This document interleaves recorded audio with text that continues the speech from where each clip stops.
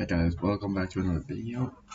And today I'll be showcasing my Dynamite Battle or Burst Ultimate evolution of Lucifer the End and Variant Lucifer. So let's get started.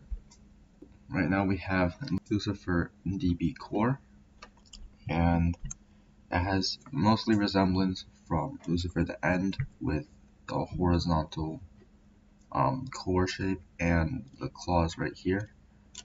And then we also have a burst resistor like on Lucifer the end here. So it's going to be printed out of rubber if you do print it. And we have the core base which has the teeth and I cut some weight out of it because I don't want it to be too OP with the rubber burst resistor. So this is what the chip looks like all together. And yeah let's move on to the blade. So here we have the final blade. Um, and it has the shape more like to variant Lucifer.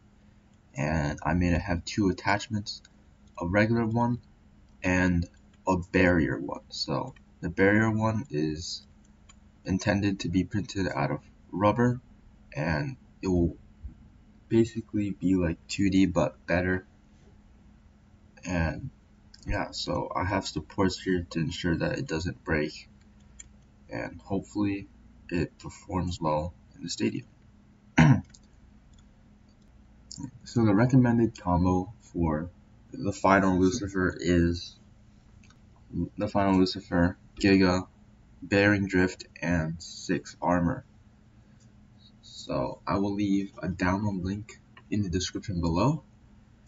I hope you guys enjoyed the video and I'll be back with some more.